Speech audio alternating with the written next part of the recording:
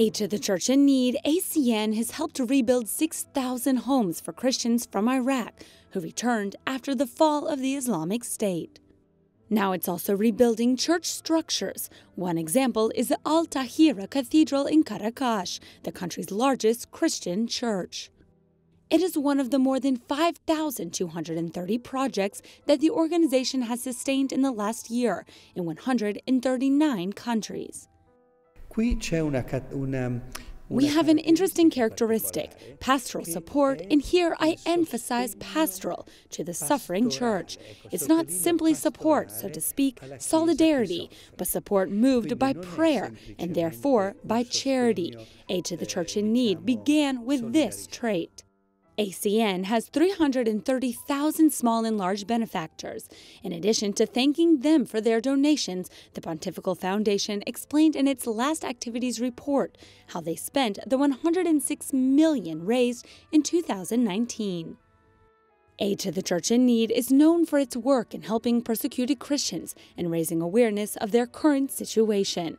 Today, there are at least 200 million who cannot freely practice their faith and who suffer harassment or discrimination in more than 40 countries. For example, ACN supported 2019 Christian projects in Nigeria, Cameroon, and Burkina Faso, where jihadist fundamentalism and terrorism is raging.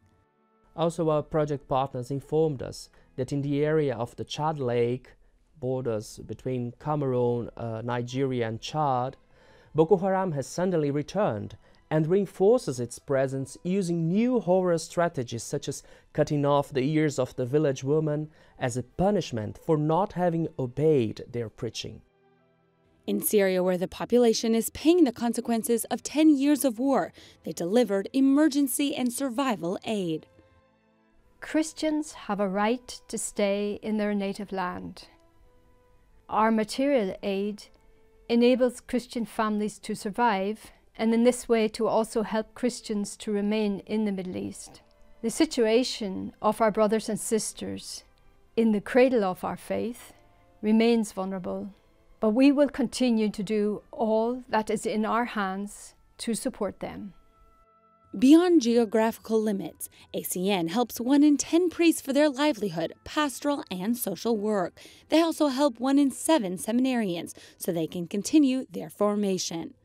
Also, there are around 13,000 religious who work in war zones, slums, and isolated areas. Now, the priority of aid to the church in need is to support them in the pandemic so they can continue caring for so many forgotten people.